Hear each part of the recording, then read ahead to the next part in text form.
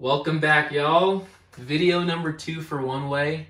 Uh, this video, we're going to be going over the flooring. This is going to be the first layer of flooring, the sheet metal of the bus, the foundation of how we build a solid floor on top. This one is super important. It holds a special place in my heart because this was around when the bus was starting to feel a little bit overwhelming.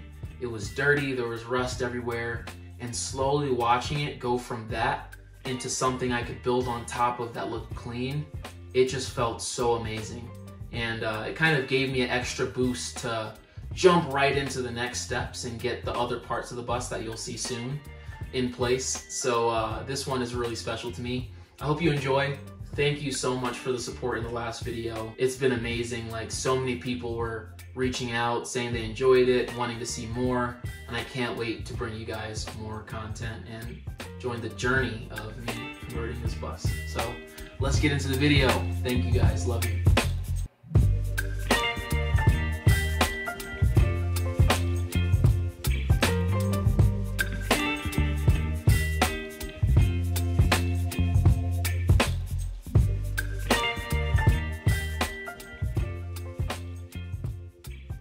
First video, we kind of followed my journey from me getting the bus all the way up until right before my move where I figured out how to continue with the foundation of the bus. The bus was completely empty, but the rusty sheet metal was still in, and I realized I could tear it up. After I had that realization that me just tearing up the old metal exposed pretty solid framing underneath, it allowed me to see the steps into making the foundation the way I wanted. And so took me about a day or so, but I was able to rip all the metal out, expose that framing. It was a little sketchy because now there's holes everywhere in my floor. I had to tiptoe. Definitely didn't fall through at all. Uh, but yeah, so when all of that was up, I could examine the floor and see what I actually had to work with. After taking a close examination of the subflooring of the bus, the framing of the bus, I realized that the rust really wasn't that bad. There was a couple flaky spots here and there on the sides, but after scraping them with my flat bar, I was able to get most of it up. After scraping off all of the big chunks of rust, I saw that there was a patch in the back of the bus that was really corroded, and I thought about it for a while. I was gonna just build over it, but I don't want it to spread and continue like a, you know, an infection almost. I wanted to get that out, so I ended up just cutting that out with my angle grinder. That led to some conflict in my thinking later on because I don't know if I want to patch it over or if I want to just leave it exposed. I didn't know if it was going to create a weak spot. It ended up being perfectly fine, but kind of scared me at first, but it ended up, you know, it ended up being good. When I had that section all finished, all cut out, and most of the rust kind of grinded off or at least scraped off, I then, I bought this uh, braided wire wheel and I was able to get real close, really expose that metal, get as much of the rust off as possible. That took a good amount of time because there was a lot more spaces than I thought there were gonna be that had a lot of rust. But uh, yeah, that tool worked amazingly.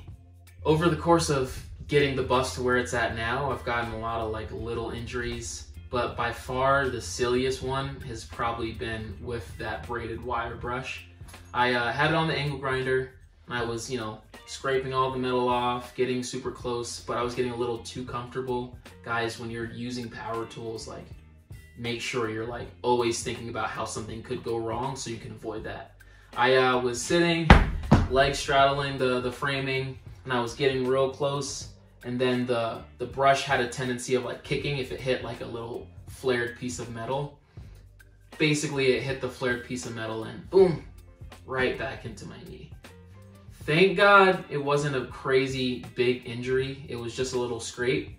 I uh, kind of looked at it once, was thinking, my day might be ended. What if it went deep? I looked at it closer. I was like, I'm good. I went back and I was like, I shouldn't, I shouldn't continue because there's dust everywhere. It was getting in the cut. So I called it for the day. But overall, besides the injury, it was a great day. I was able to get pretty close to that, that solid metal underneath. It was a little wavy where the rust had eaten into it, but for the most part, I was happy with like painting over that surface. So next day, I came back and then I finished all the grinding for the whole bus. You could see both sides. I did a little comparison. The grinded part versus the ungrinded part where it was all flaky and gross. And it looked way better. So after all of the floors were derusted, scraped and grinded off, uh, the next step I had to do was get all the floors leveled out. In the previous step, I had to get the plywood flooring, the rubber, and all of the previous seats out of the bus. And to do that, most of them I had to cut the screw heads off just because over the time, rain, whatever it may be, it rusted the screws. So the threads weren't, you know, they just break right off. Uh, so had to go back with my angle grinder and find all the little screw heads poking up and then just get them a little bit closer to the surface so it was flat. That took a good amount of time, but you know, nothing too crazy. When I finally had all of that done, everything was prepped. Now I could finally paint. This was a super exciting time for me because I didn't realize how much the paint was gonna transform the way the bus looked. And I, I was already pumped because they looked pretty darn good compared to what they looked like before with all that flaky rust. So I was just ready to get into the next step. Before we get into paint though, just want to put it out there, this stuff takes a lot of time and as I was going through all of this footage, it kind of blew my mind. I had hours and hours of footage. I'm gonna make a separate, you know, I'm probably gonna make like a TikTok or definitely gonna post it on the Instagram. But uh, this stuff takes a lot of time and it's crazy watching hours and hours of work turn into minutes for a video and it just makes me appreciate the process and really feel just how much work I'm putting into this. Uh, but if you're enjoying this video, enjoying what's happening, what I'm doing with this bus, drop me a follow on Instagram, subscribe on YouTube, or like this video. Let's get back into the paint. Let's do it. On to the next step. We have to get ourselves ready for paint. This stuff is messy. Don't get it on your skin because when I got it on my arms, that stuff comes off when your skin comes off. So I had to live with that for a couple months. The whole painting process though was super satisfying. Uh, I kind of started with the corners around the edges, got all the cracks, make sure I got every square inch. I had to go back and get the underside of the bus because there were some areas that I wasn't quite satisfied with. But man, when I finished the whole bus, it had that mirror finish and you could feel this stuff. It mummified one of my paintbrushes. It made it super solid. This stuff was tough and you can tell that it wasn't just a paint like a preventing rust paint. It created a barrier around the bus that would not just stop rust from happening, but seal in any rust.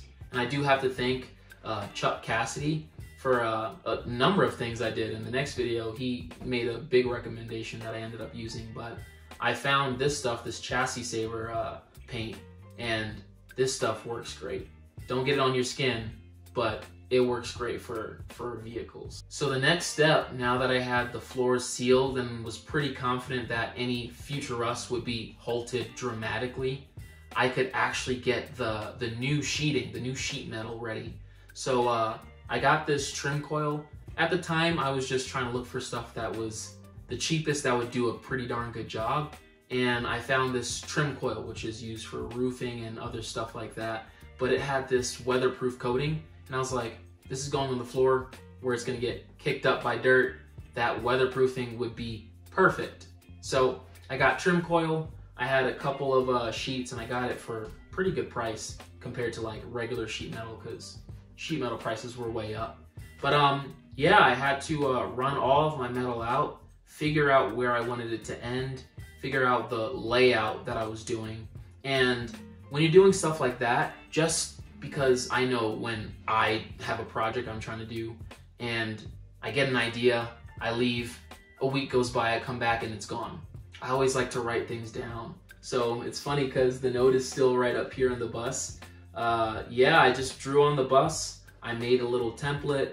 I uh, kind of figured out where all the uh, all the pieces were going to go in my head, wrote it down, and then laid it out once they were all cut, just so I knew exactly what I was doing before I fastened it to the floor. And it kind of worked out perfectly that one area that was a little suspect in the back that I had to cut out that I wasn't sure about, it just so turned out I had enough material to run them, but since I had maybe like six inches extra, I could overlap a little bit more on that side of the bus to give it a little bit of extra uh, structure or stability.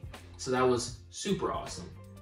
So after I had all the pieces cut to size and I chose the layout that I liked and wanted to go with, I was finally able to screw my new sheet metal in. I uh, went to Home Depot, found the first glue that looked pretty good, like a construction type glue, and it turned out to be a really strong glue. I found out later in my uh, carpentry days. but um, yeah, I used that first, put my piece down. The first one's a little sketchy because it was the first one and it always helps to have a second person because yeah, that first piece was stressful. But uh, I actually have it here. This is the glue I used. It's this Loctite PL, three times stronger than original adhesive. I've never seen the original adhesive, so, but it works great. I use that, and then to secure it to the floor, I have these Tex weatherproof self-tapping screws. They work so good. They come with this washer that uh, I guess kind of squeezes down and oozes around, creates a nice watertight barrier. Bottom line, I'm trying to have this floor as waterproof as possible. And if anything gets in, I want it to not cause problems. How you do that? Don't let it get in in the first place. After I had everything glued, screwed, and installed, I had a floor again. And it was so amazing. It was so nice to be able to walk around, not have to tiptoe. I have fallen through the floor like three times just working hard and like taking a step, slipping, sketchy stuff. But uh, yeah, it felt amazing. It was probably a little overkill, but after all of that, I went back and I took this roofing tape I found and I covered every seam around just so no water could get in at all. That stuff, you squeeze it on, then you press it. If you really press, you can let that tar material ooze out and it just created a super strong seal. It probably would have been okay with just the uh, trim coil, the weatherproof trim coil, the uh, screws and the tape, the sealant probably was fine. But just to be sure that nothing could go wrong, I went back and with that same chassis saver, I did one coat over the whole floor. The chassis saver is designed to kind of grip onto rust. And so there being no rust, it kind of pooled up, especially with the uh, weatherproof material or, or texture, whatever it is on the trim coil. Didn't like to stick to it, so it kind of sat in some areas. But my thinking was before it goes through the trim coil, it would have to go through the chassis saver, then it can get to the trim coil. So it was like, you know, overkill. But, you know, I liked it and it worked. And also with this project, and especially when I got the trim coil in, this was the first time I was actually putting something into the bus. And so that, that felt so amazing because for months and months and months, it felt like nothing was getting done. I was taking all the panels out and it was just looking worse and worse because I was getting all the demolition done. It was dirty in here, it was messy, and no matter how much I did, it felt like I wasn't getting closer. And then all of a sudden, almost in a moment, I go from that to now I have a new floor and it looks amazing and it and it allows me to go into the next step that will allow me to build this dream house of mine. And so this whole trip or this whole journey of getting the new floors in, it just was such a morale boost. And just like that, the first layer of the subflooring was done. I was super proud of myself going from a time where everything kind of felt uncertain and pretty hard. And seeing that I could do this, I could put the time, put the effort, put the blood, literally sweat, not so much tears, but all that energy into this project.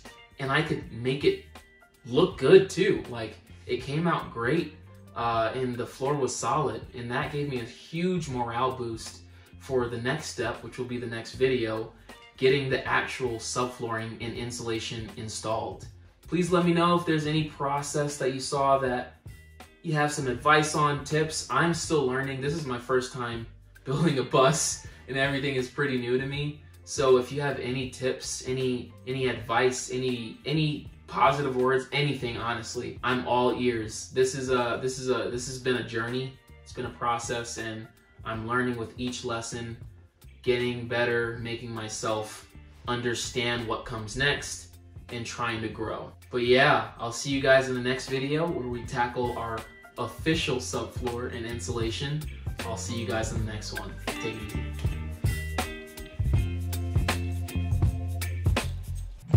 Just want to say, when you're working on the bus, when you're working on anything, doing a lot of physical labor, important to take your breaks. For me, I have a frozen matcha latte from Dunkin' Donuts.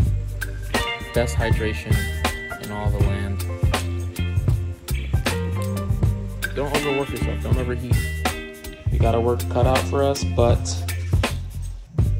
anything is possible. You always have, by the way, always have to end with a.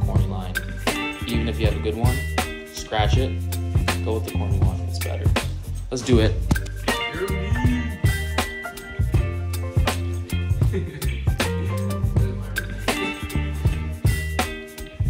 Oh, have a corny joke. Not trying to toot my own horn, but see what I did there. oh, that was corny. All right. Welcome back, everyone. Wow, I'm stepping on the floor and I feel confident. In a hole. Wow. That's awesome. This floor is coming out. Chef's kiss. But um, okay. See what that looks like. This squirrel is going to town in these trees. They're dropping all the little fruits. Every two seconds, I'm just hearing something fall. You go, squirrel. Here's the brakes. Back to the bus.